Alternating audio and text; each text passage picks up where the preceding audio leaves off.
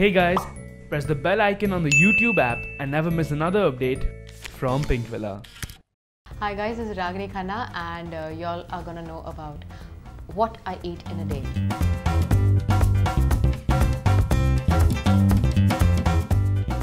Ah, how I wish, but that's not true. Unfortunately, I'm a Punjabi and I'm raised in parathas for breakfast, so not at all. So the first time I went to my nutritionist to lose all the weight I had, she asked me to eat just a small cup of muesli with some nuts in the morning. I was like, are you sure you want me to eat that little? She like she was like you know that's not little that's exactly the amount of proportion of food your body requires. So yeah i'm not that blessed. First thing i do once i wake up is have a hot glass of water with uh, lime and cinnamon. That's the first thing i put in my mouth and a big bottle of water so yes that's something i do. It's it's good for cleansing your there's a lot of acid development in your stomach since you are hungry for like a period of at least 8 hours if nothing less than that or more than that. So yeah it, it helps you to get rid of, of all the acids in your body. So what I, after my morning ritual is done what i eat for breakfast is probably uh, sprouts with one toast or i'll have muesli with my seeds with uh, with yogurt. Since uh, I, I was a little allergic to milk. I didn't really consume a lot of it. Now my my system has kind of become a little tolerant towards it because it was uh, due to lack of health. I couldn't consume milk and milk products. But now, yes, yogurt works for me fabulously with some berries. Uh, then after uh, 45 minutes of my breakfast, I'll have my big cup of black coffee because that's my only vice. I don't drink, I don't smoke. I don't do any form of intoxication, but coffee is something I'm addicted to. I don't wake up till I don't have my big cup of black coffee. Then after that, I'll have after the, after 15 minutes of my big cup of black coffee, I'll have a small shot of black coffee. yeah, it's kind of stupid, but still I do that. And then uh, post that, it's um, lunch. For lunch, I'll either have it's basically all Indian food because it's a Punjabi household, and my mother refuses to change the eating patterns of the house just because of one person who exists in this house who, who's an actor. so uh, I have asked my nutritionist to uh, plan my meal in a manner which is easily available in my kitchen.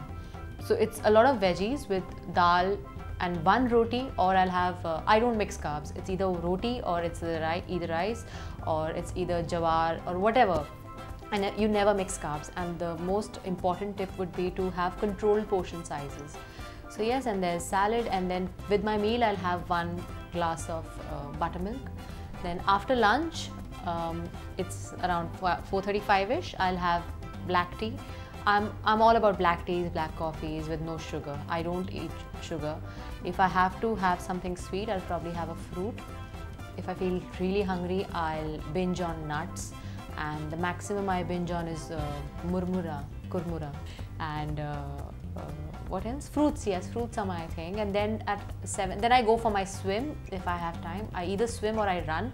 I work. I used to work out a lot initially. I was into plyometrics and uh, a lot of. Um, what do you call it? Um, everything which which had, had uh, which had to do with your own body weight. I don't lift a lot of weights because I don't want to be muscular. I want to be fit and I want to have a toned body with th- without those cuts because I wish to achieve a body which looks very feminine and toned at the same time.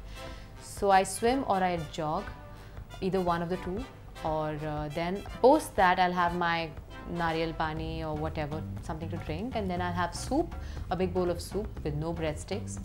And for dinner I'll have carb because that's my last uh, portion of carb. And if i don't do carbs initially uh, when i started losing weight i stopped having i stopped consuming carbs in the night post 6 o'clock because i had to reach a target weight. Now since i'm 51 kgs now I, I started when i was 63 kgs. And it's generally not about the kgs it's generally about your fat percentage but yes uh, weight is also important. You will lose weight eventually but inches also matter. So it's basically your body fat percentage which is like really taken into consideration uh, with new technology coming in. So yes in the night again it's one one bowl of rice with veggies and dal. Or if i go out for dinner i do a lot of dinners outside because i love dinners. I'm not a really party person. I love going out for dinners so if I go out for dinners, I'll, even if I have a pizza, I'll only have two slices of pizza, but the thin crust ones. And if I'll do salads, I'll have a big bowl of salad. I'm vegetarian, and uh, the only I, I eat eggs. That's it. and I'm on my way to becoming a vegan because the kind of eating patterns I have, they're almost veganish, but not there exactly. And then, uh, even if I go out, I'll only eat rice. This is a myth I'd like to break to you all. You do not put on weight with rice. I eat rice every day, I eat bread every day, I eat white bread. I eat everything. I eat cheese, I eat uh, dessert, I eat samosas, I eat everything. I have two big cheat meals in the week in which I have a bowl full of carb with cheese. It's just your portion sizes and it's basically you have to feed your body, you don't have to feed your mind. Most of, the biggest mistake what we do is we we feed our mind. We eat things because they make us feel good. So the minute you control your mind in that aspect and you say that you're not going to feed your mind, you're going to feed your body and your body just needs that much nutrition, trust me, you're going to be in a really fit space. Uh, it depends on my work schedule and it depends on my sleeping patterns. Uh, so uh, my last meal is generally at 9, 8.39ish, but at times I'm up till 3 o'clock in the night or 2.33 minimum. So I have, I have uh, probably walnuts or I'll have a banana also. Now I do have a banana. Or I'll have um, I basically just eat everything now, honestly. It's just the portion size which has to be limited. I eat everything. I'm blessed now. I'm an early riser. I love mornings. I love sunrise. Whenever there's good food, that's my favorite meal of the day. Uh, Italian, because there's so much cheese and there's so much carb. I love carb and cheese. Heaven. I work out uh, depending on my schedules on how my day is planned. So when I was shooting uh, for my TV shows, I used to shoot 9 to 9. So I used to get up at 5.30 in the morning and 5 o'clock in the morning, go work out and then reach my set. But now I'm not doing a TV show. So I work out as and when I feel. My meetings are planned according to the day. So uh, my swimming generally happens around uh, evening-ish so that uh, I don't tan. and uh, if I have to go for a jog, also I'll go in the evening. Or if I hit the gym, I'll go in the morning. Ideally, the best time to work out is in the morning so that your uh, body metabolic rate is really high and your heart beats really fast the whole time. If you work out and go to sleep, uh, I think it's a little not recommended for, to work out and just go to sleep because your palpitation is like really racing and then you just put yourself to sleep and all your mehnat is gone for a toss and you'll feel hungrier in the night. Uh, so initially, uh, in between when you were when I was like really uh, hardcore trying to reach my goal, I used to wake up in the night at 3 o'clock, have my midnight snack and go to sleep again. That's also what you do because you don't keep your stomach hungry for a very long period of time. That's not healthy. Uh, two egg whites, one yellow and one toast or uh, or probably my, my whole lunch. You know, I have like a proper post-workout meal and, and don't work out empty stomach. It's the worst thing to do. Yes, there is a lot of special prep. Firstly, I give up on dairy and you have to give up on salts, which is very difficult but you have to do it. You got to do what you got to do. Yeah, so you have to give up on dairy because anything which bloats your body. So yeah, give up on salts and give up on dairy and lots of. I am actually. Uh, I have a lot of water, so I avoid that as well. I cheat a lot in my meals. I love to cheat on my meals. That's the only place I love cheating. and I happily indulge in it. Uh, so officially by my nutritionist, I'm allowed two cheat meals a week but uh, since now I have reached my target weight and I'm very happy with the way I am, the currently the shape I am in. So I, even if I cheat my meal, my next meal I try to balance it out. But two cheat meals are decent for me, they're good enough. My favorite cheat meal is risotto with a lot of cheese.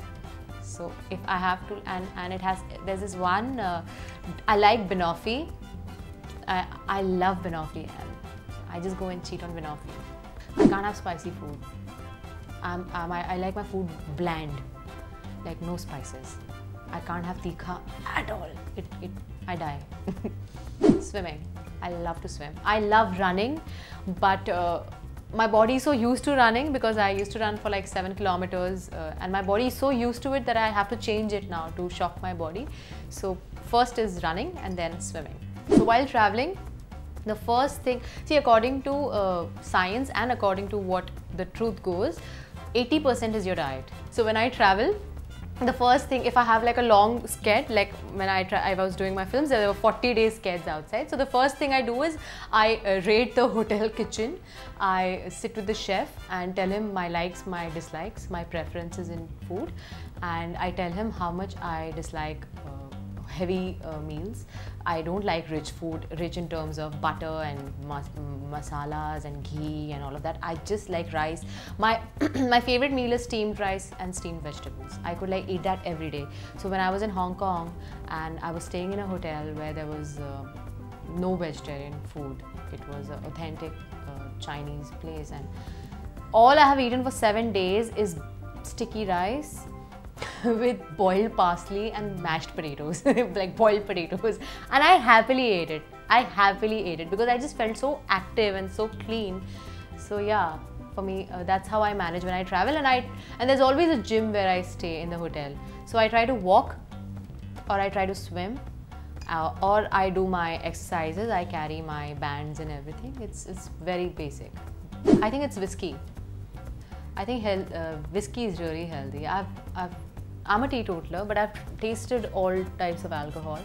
And something which really does decently fine with my system is whiskey. But I'm an occasional, uh, uh, like once in a year kind of a wine drinking person. So for me, yeah. the, the climate in our country is not really suitable for so much of acidity which comes along with wine. But yeah, uh, so yes, wine or whiskey. My favorite healthy munchie is first thing is bananas and peanuts and nuts and almonds and uh, walnuts. They are my favorite healthy munchies. Or uh, my cheat munchies are uh, soya crackers or uh, hummus with uh, lavash. Um, I do I do a mix of both. So I do weight training with my own body weight in the form of cardio, which is plyometrics. So you pick up your own body weight and you know you do cardio. So that's like a mix of both. So I like both. But I am bored of the gym. I'm just exhausted. Yes, I used to. Initially, when I started, I used to go to Mr. Dhurandhar, who's now a retired nutritionist, but a very senior one. Now I go to Dr. Krishmi Chheda after Mr. Dr. Dhurandhar uh, has quit uh, checking up. So yes, uh, he asked me to get a weighing scale. So I measure, I used to measure my food. And that's how I got my portion sizes correct. So I used to measure each thing which had to be cooked for me and it would be prep, uh, you know prepared separately. So yes i've done that and i still do that. But now i know my portion sizes because i've been doing it for like 9 10 years. So now i just know it. It's in my mind. There's something called as the gm diet. So basically in school we were told oh you should do the gm diet. It really helps you lose weight. And like a fool i have done it only to discover later that the gm diet was designed for the workers working at the General Motors. so, so that diet is not for us guys. Anybody who's following the GM diet, please do not do it because every time I tried pulling off the GM diet, I always fell sick on the fourth day. I got viral, I fell sick, I fell weak because first day you're only supposed to eat some watermelons, second day is only bananas, third day is only milk and bananas. No, it's not right. That is something a big no. You should never do it no matter who you follow, no matter what you read, no matter what you do, eventually what matters is what you act upon. so I could be following all the fitness pages on Instagram that only further tempts me to have that kind of good food. so those uh, pages are good for uh, your mind, but your mind is something which does not need to see that much food. Your mind does not need to see food. Your body needs to be fed with the right amount of nutrition. Yeah, so just control your mind. It's all in your head. There's nothing else to it. Everything is in the mind. It's amazing how powerful our mind is the minute we realize, you know, how much we can do and achieve with it. I would rather eat everything and work my ass off in the gym because I won't, don't want to be, um, I don't want to be like, I don't want to have bad health. For me, health is priority and it's all about fitness for me. I might not be uh, the most perfect bod uh, cosmetically, but what matters is how fit and my endurance levels and how well I can pull off my acts together and how well I can survive my day and how active I am. That's all that matters to me. So guys, uh, one last tip before signing off is that you need to have 7 hours of sleep because no matter how much you diet or how much ever you work out your body needs rest your mind needs rest which will only be achieved through sleep and sleeping at the right time. Your timings are also very important. On that note, I'll bid you bye bye and I hope uh, they help you in achieving the results I achieved. So, if you like this video and would like to see more of such videos, please like, share, and subscribe Pinkvilla and stay fit.